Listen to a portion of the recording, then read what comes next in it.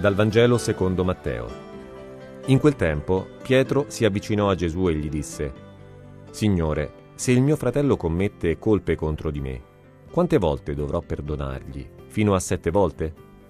E Gesù gli rispose, Non ti dico fino a sette, ma fino a settanta volte sette. Per questo il regno dei cieli è simile a un re che volle regolare i conti con i suoi servi. Aveva cominciato a regolare i conti quando gli fu presentato un tale che gli doveva 10.000 talenti. Poiché costui non era in grado di restituire, il padrone ordinò che fosse venduto lui con la moglie, i figli e quanto possedeva, e così saldasse il debito. Allora il servo, prostrato a terra, lo supplicava dicendo, Abbi pazienza con me, e ti restituirò ogni cosa.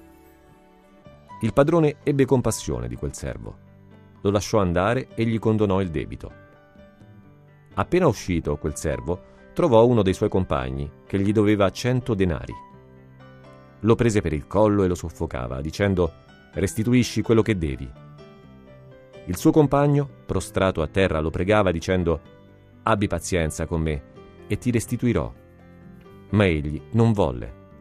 Andò e lo fece gettare in prigione fino a che non avesse pagato il debito. Visto quello che accadeva, i suoi compagni furono molto dispiaciuti e andarono a riferire al loro padrone tutto l'accaduto.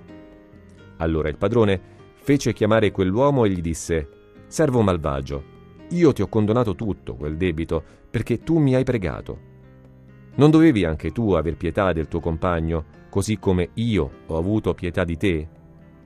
Sdegnato, il padrone lo diede in mano agli aguzzini finché non avesse restituito tutto il dovuto. Così anche il Padre mio celeste farà con voi, se non perdonerete di cuore, ciascuno, al proprio fratello. La parabola di oggi ci aiuta a cogliere in pienezza il significato di quella frase che recitiamo nella preghiera del Padre nostro. Rimetti a noi i nostri debiti come noi li rimettiamo ai nostri debitori. Queste parole contengono una verità decisiva non possiamo pretendere per noi il perdono di Dio se non concediamo a nostra volta il perdono al nostro prossimo. È una condizione. Pensa alla fine al perdono di Dio e smettila di odiare. Caccia via il rancore, quella mosca fastidiosa che torna e torna. Se non ci sforziamo di perdonare e di amare, nemmeno noi verremo perdonati e amati.